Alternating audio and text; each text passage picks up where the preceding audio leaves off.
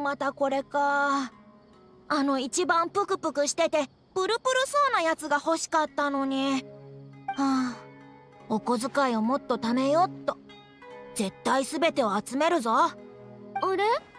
毎日買いに来てるわよね。まだコンプリートしてないの？あのアランナラ木彫りセットを買えば？1セットで7種類が入ってるのよ。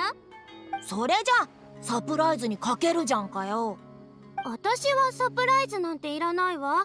全種類を集められればいいんだもん。これこそ真の心がけよ。今日はモラを貯めてはるばる木彫りセットを買いに来たな。あすみません。先ほどキャシトさんにお売りしたのが最後なんです。本日の商品はもう売り切れてしまいました。新しい職人を募集しているところですのでまた明日いらしてくださいね。分かった。わそれじゃあまた明日来る。待ってちょうだい。アランナラ木彫りを商品だなんて呼んじゃダメでしょ。そうだそうだ。えっとすみません。私が悪かったです。すまないな。今日のアランナラ木彫りは売り切れちまったんだ。売り切れ？そんな。あと何個か買って明日遊びに来るいとこにあげるつもりだったのに。分かった。じゃあこうしようお前はラーゼィの家の近くに住んでるだろ？明日の朝出来上がった木彫りをお前の家に届けるよ。ありがとうファイズのおじさん。忘れないでね。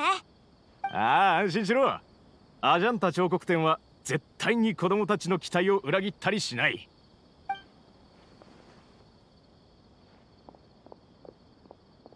おっとまたお客さんだ。すまないがうちのアランナラ木彫りは今日ああお前たちだったのか。この度は助けてくれてありがとうな。本当はきちんとしたお礼をしたいところなんだが見ての通り最近は忙しくてな。お前たちがいなけりゃきっとアジャンタ彫刻店創業20周年の日は全く違う景色が広がってたかもな。全部ラーズィのおかげだ。まだ若いのにこんなすごい発想を持ってるとはな。おおそうだ。感謝の意を表してな。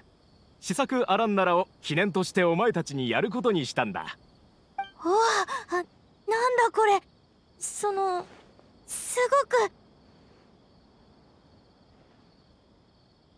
そうそう。心が震えた。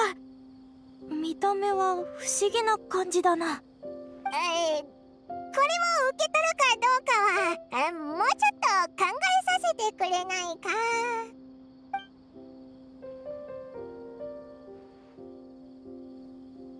過ちを犯したアランナラの父は自ら過ちを認めアランナラの息子から許された。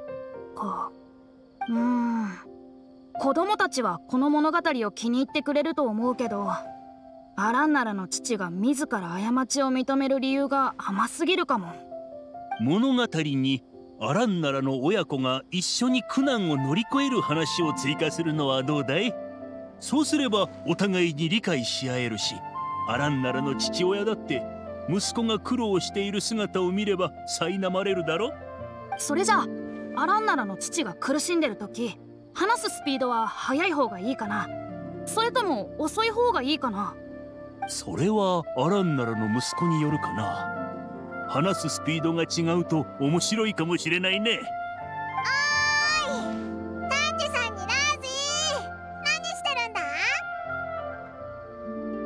一緒に新しい童話の内容について話し合ってるんです。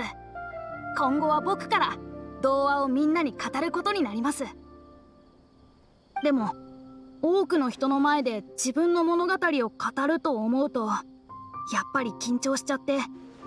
だからどういうところに気を配った方がいいかを聞いているんです。おおスメールに若い童話作家がまた一人増えそうだな。君たちに感謝するよ。君たちが現れなかったらラーズィは本当に私を置いていってしまっていただろう。本当によかったぜ。うまく解決したみたいだな。でも一つだけ不審な点があるんだよな。ん？どうした？私が手伝ってやろうか？アビディアの森にあったあの木の鱗にはなんでモンド人が残した紙切れがあったんだろうな。なんで未だにそんなこと気にしてるんだよ。単なる偶然だろ偶然。秘密を紙切れに書いて木の裏に置くのなんてよくある習慣だよ。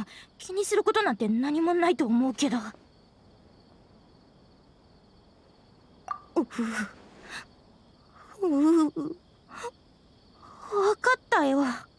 実は私も秘密や悩みを抱えてるんだ。それに秘密を木の裏に話す習慣があって。